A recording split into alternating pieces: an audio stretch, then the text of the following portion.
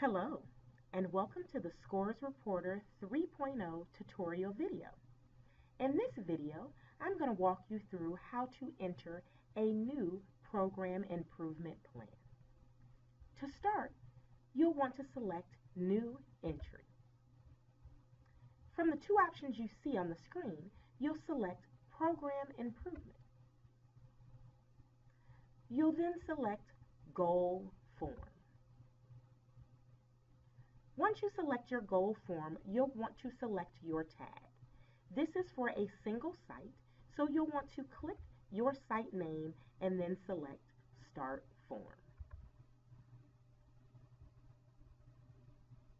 Once you've selected Start Form, you'll want to come here and select Start Form again right here. This will open up your goal form. The first thing you're going to want to do is enter your program goal. Give some information on what success would look like if your goal was achieved. You'll then want to select how you plan to measure this progress. If your goal is aligned to one of the PQAs, you'll select which PQA it aligns to.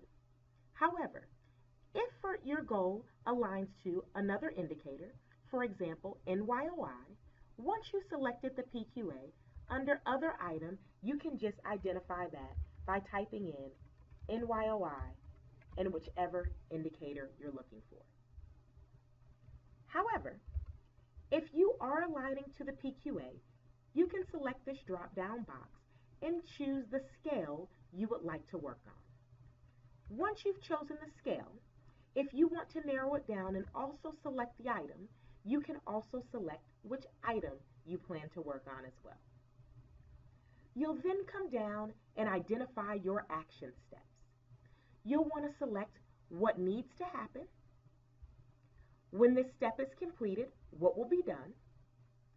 Then you'll want to identify who will be responsible and what resources you will need to complete this task. We'll then ask you to click here and select the date in which you anticipate this task being complete. You'll notice that there are automatically two action step boxes. However, you will have the option to add as many action steps as necessary to complete the goal you've identified.